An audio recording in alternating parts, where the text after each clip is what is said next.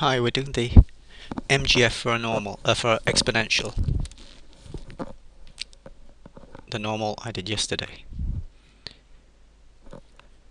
Okay, MGF. We'll start off as usual with the definition. e to the tx, where I've already stated on the previous page that x is an exponential with parameter lambda. Um, and the way I wrote the PDF I'll write it later. Okay. Well, for an exponential, exponential is a continuous distribution. So for calculate expectation, we need a continuous sign. We write down this guy.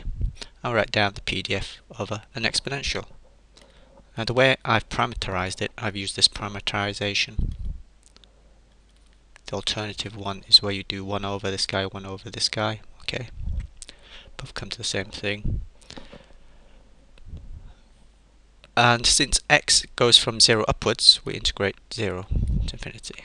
So this is what we want. Ah I've written this bigger than I wished to I wanted to leave some space. Okay. Alright well let's try to shrink things now. So what do we want? Okay obvious thing is we want to gather these exponential terms together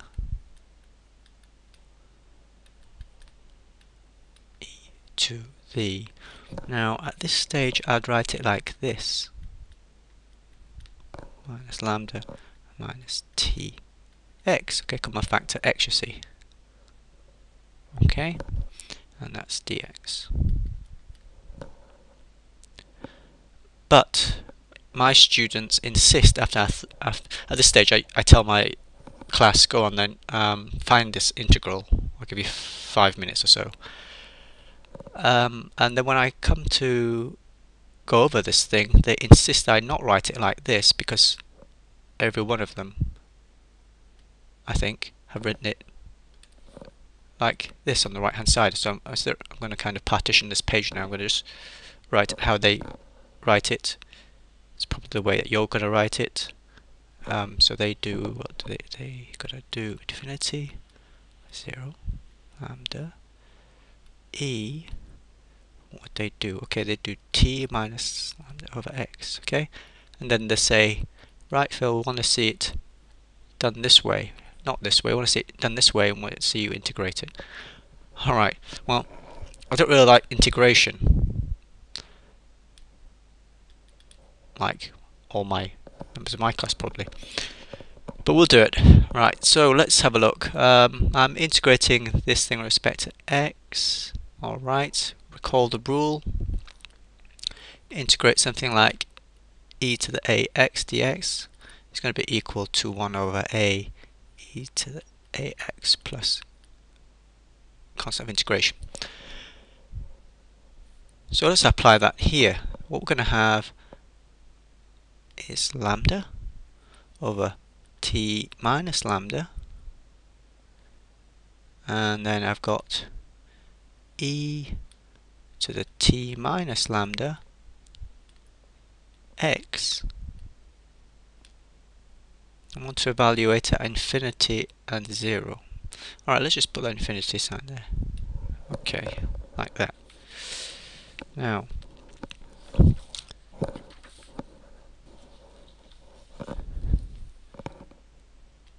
so I want to calculate this guy here. Alright, um, now if you come straight from high school, you just think, alright, just stick in infinity for x and zero minus and then stick in zero for x here. But know that this infinity is not an actual number. Now if this is a math course you probably wouldn't be allowed to do this, but in a stats course you'd probably be allowed just to stick infinity in place of x. Um, but remember infinity isn't a number, it's just an idea, it's, it's just...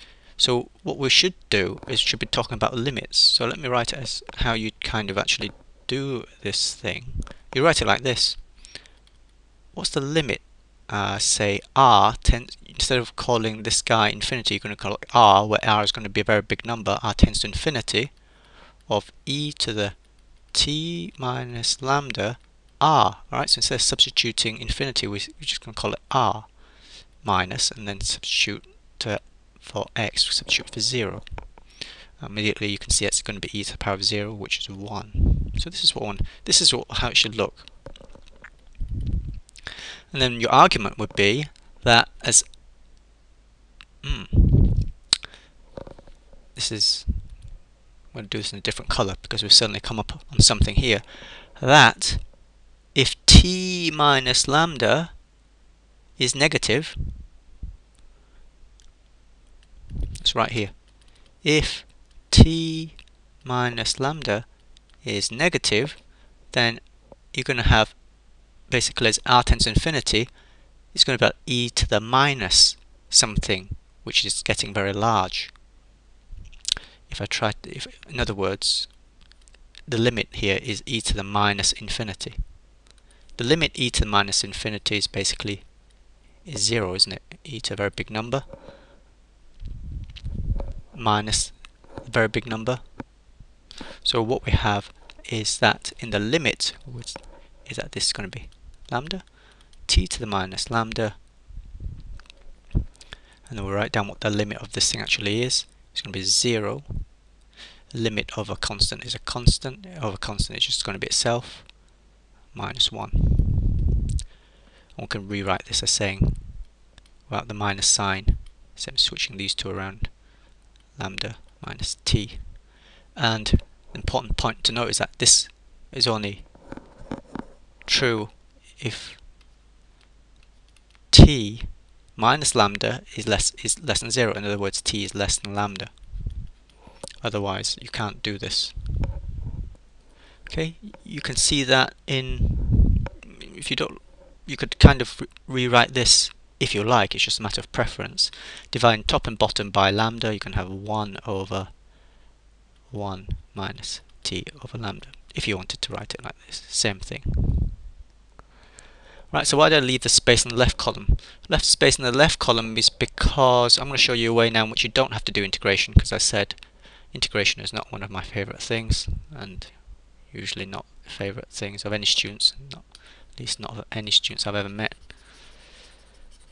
Okay, so how I'm going to do this without integration? For my next trick, here we go.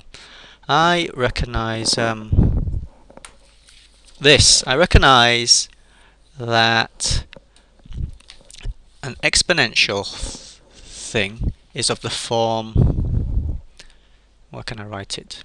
I'll write it let me write it up here in the corner. I know that an exponential function is of a form something, say a, times e to the minus that some same something to the x this is an exponential function. So I know that if I integrate this guy here over 0 to infinity, it's going to come to 1 because it's just an exponential. Alright, instead of how lam lambda, I've just got a's. But look at this guy here. Mm, this guy up here is like my a. So if somehow I have not lambda but this guy next to it, then I've got I know it's going to integrate to 1.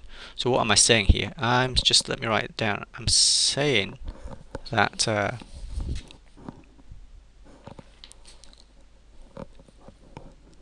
I'm saying this, that lambda minus t, that's like my a, to the e to the minus lambda minus t, why didn't I put dx up here, right? If I integrate this thing, it's going to come to 1 with respect to x. But this thing, first term here, is a constant. Uh, hang on, where's my x gone? But this thing here it does not depend on x, so it's like comes out of the integration sign. So let's put the integral there. dx must come to 1 because the integral of a PDF comes to 1 from here. But now I've got a formula because if I get this and I drag it over to the other side, can you see that it's going to be this. Hence, hey presto, I have a formula of an integral without having to do integration. Alright, therefore, could I call this 1? I would like to call that 1. Therefore, 1 is equal to, uh, yeah, I don't even have to do, so this, uh, let's have a look. Now this only that guy there doesn't depend on um, x, so that can come out, so let's just pull that thing out. Instead of putting it there, let me put it here. So I'm saying, look, this guy here is the same as this guy here, which is equal to that. So I can say that, therefore, it's just simply lambda over 1 minus t. Hang on a minute. Hang on a minute. That's lambda, isn't it? Yep. Lambda minus t. Which is what we've got here. But in far few steps. And as before, this integral, we could say at this stage that the integral only exists, this is why I wrote with a minus there, if, just want to take all this away now, let me just create more space. You've seen that now.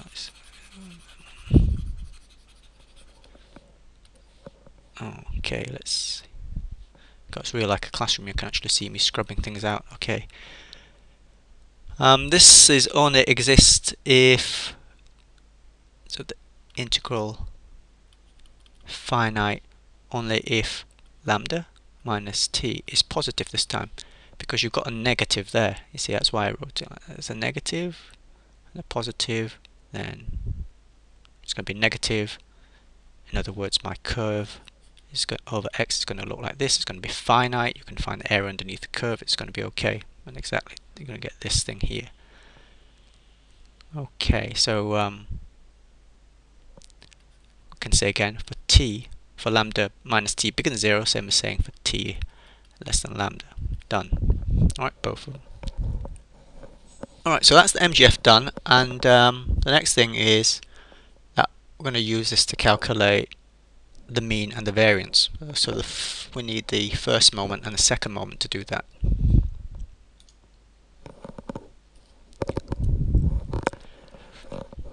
Let's write down what the MG